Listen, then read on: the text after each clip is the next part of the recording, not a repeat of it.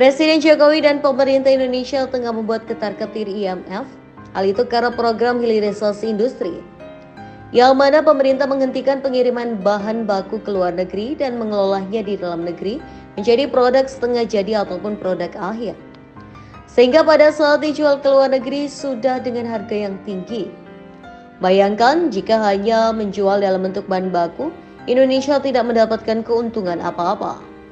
Bahkan, Indonesia harus membeli produk olahannya dari negara lain dengan harga yang jauh lebih tinggi.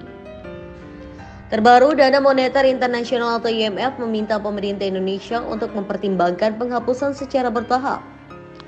Kebijakan larangan ekspor nikel dan tidak memperluasnya untuk komoditas lainnya, paparan IMF ini diungkapkan dalam artikel For Consultation. IMF menilai kebijakan hilirisasi perlu mempertimbangkan masalah analisa biaya dan manfaat IMF mengingatkan agar kebijakan hilirisasi menimbulkan hambatan negatif bagi negara lain.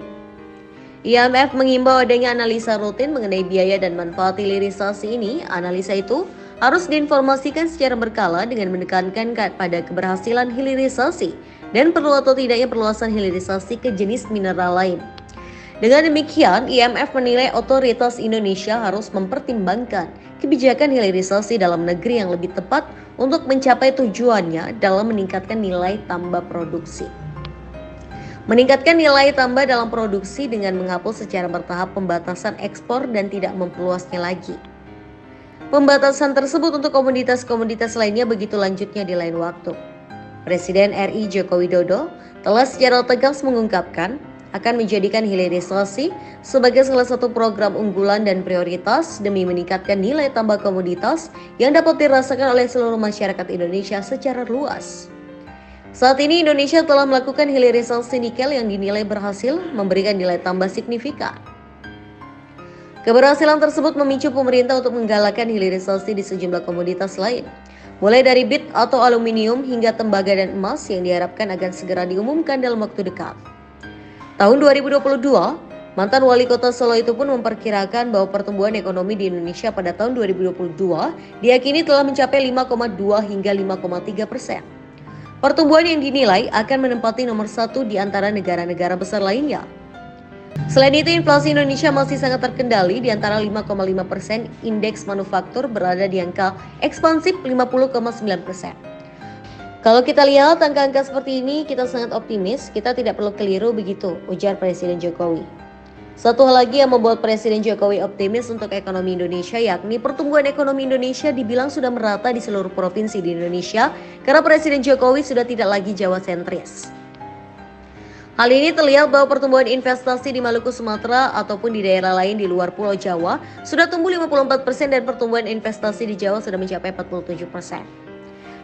Ini sangat-sangat baik karena hampir semua negara rebutan investasi di Indonesia. Kita, bahkan Presiden Jokowi yakin di saat usia emas Indonesia atau ulang tahun Indonesia ke setahun di tahun 2045 mendatang. Itulah kenapa IMF sampai memohon kepada Indonesia agar menghentikan hilirisasi karena berdampak kepada negara lain. Ada 16 negara masuk menjadi pasiennya IMF kita tahun 98 pernah menjadi pasiennya IMF karena ekonomi kita ambruk, politik kita juga jatuh saat itu. Ini 16 negara sudah menjadi pasien IMF dan 36 negara ngantri di depan pintunya IMF ingin menjadi pasiennya IMF. Artinya keadaannya ini sudah sangat tidak normal. Saya tidak menakut-nakuti.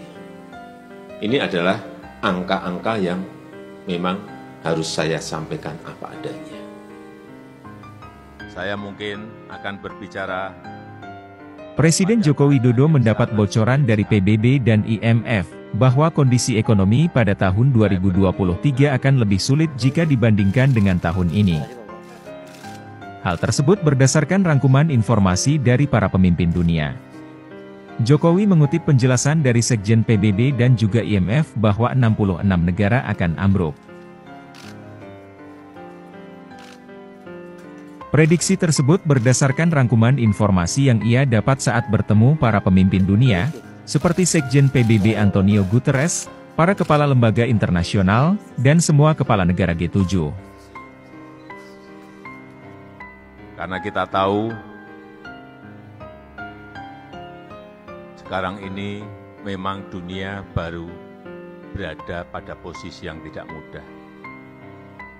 Pada keadaan yang sangat sulit sekali.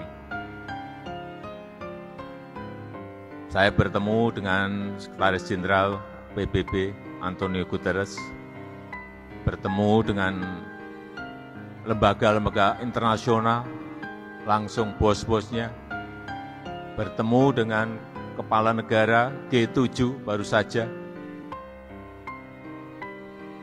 Saya tanyakan, sebetulnya dunia ini mau ke mana? Beliau-beliau menyampaikan, Presiden Jokowi, tahun ini kita akan sangat sulit. Tahun ini kita akan sulit.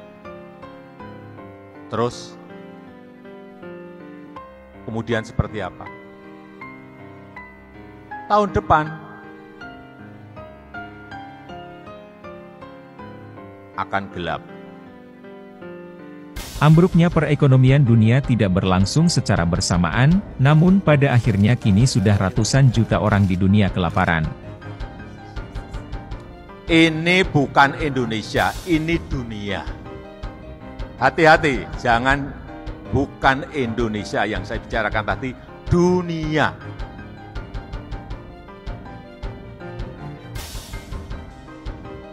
Kita bicara dunia dulu. Semua negara sekarang ini berada pada keadaan yang tidak mudah. Dari Sekjen, PBB menyampaikan, dari IMF, dari Bank Dunia menyampaikan, bahwa akan ada 60 negara yang akan ambruk ekonominya. Dan sekarang sudah mulai satu persatu. Angkanya adalah 9 terlebih dahulu, kemudian 25, kemudian 42. Mereka sudah secara detail mengkalkulasi.